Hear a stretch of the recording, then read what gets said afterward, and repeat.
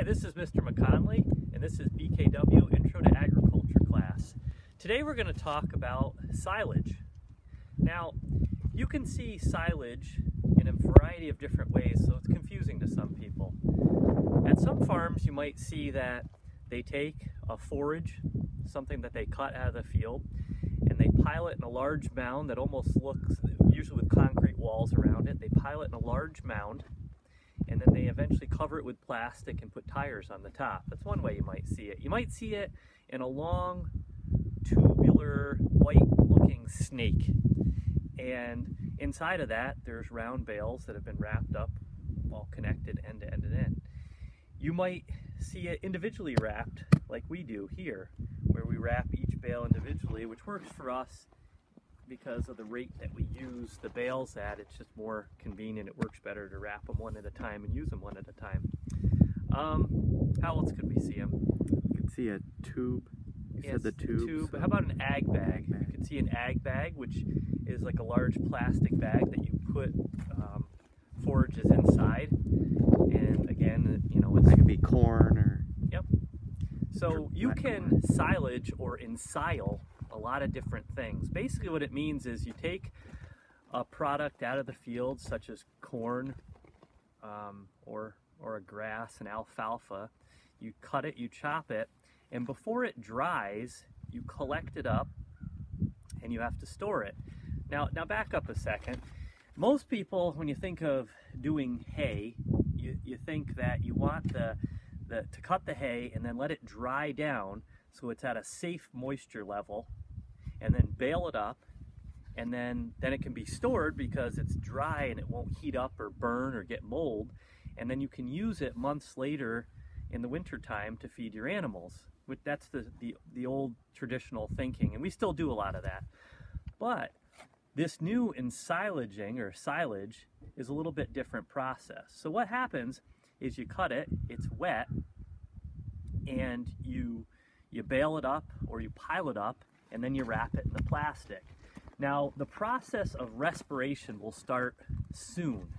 So within a short amount of time, respiration starts. And what respiration really is, is it's the carbohydrates being turned into energy. And during that process of carbohydrate, carbohydrates being turned into energy, you get a lot of heat and you start getting mold also. So a lot of times the day after we wrap them or even a few hours later you'll see this plastic starts to uh, bulge up.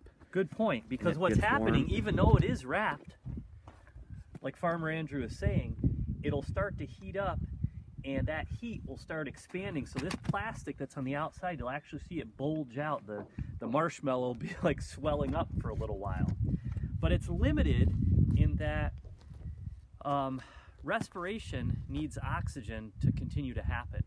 Once the oxygen has been starved because the plastic is not allowing any new oxygen to get in here, now this, this bale is starved for oxygen, it's anaerobic, it can't continue to respirate, and now we switch over to a process called fermentation. So the bacteria that are in there eating away at the at the car at the carbohydrates, they're eating away and they're they're giving off or excreting lactic acid. Now this lactic acid starts building up inside this bale. Remember, there's no more oxygen. Now we're without, we're um, anaerobic, we're without oxygen. And the, the bacteria that are in here are giving off the lactic acid, which in turn makes it so the mold, it's in, inhospitable for the mold. The mold can't grow because it's too acidic for them, basically. And now you're not going to get any mold and at the same time, since you're not getting any of those molds, all of a sudden the heat will start to drop. It'll start cooling back off. Now, this process continues for quite a while, 30 days or so. And during that 30 days, eventually the bacteria that are inside this wrapped silage bale will give off so much lactic acid that they'll actually poison themselves and those bacteria aren't will get to a point where they are no longer even able to live in this environment and they kill themselves off and now you're left with a bale that is still moist still has excellent nutritional value because it's basically like fresh cut grass although the acidic, the pH has been lowered, it's very acidic now, and it's very stable. And now in this condition, still wrapped, it can remain for a year or more and still be good forage, good feed for the animals, good fodder is another word. Now what can go wrong? Well, a lot of things can go wrong if it's if it's too wet, if it's too dry. Either way, the process won't correctly work. It's out of balance and you won't get a bale that's uh, ensiled and can be stored for long periods of time. The other thing that's happened, and we've done this, by mistake you might bump into a bale, rip a hole in the bale, and when that happens, then the oxygen can get back in, and then you go towards respiration again, and you get a rotten, stinky bale that no animal wants to eat. So I'm going to cut one of these bales here open so we can take a look inside, because we're going to use this one in a minute anyway. So I'm just going to take a look inside like this real quick, and oh, great smelling. And you can see this looks just as nice as the day it was cut. It's, it's wet, it's moist still. It's got a great smell because that, that acid has changed it a little bit.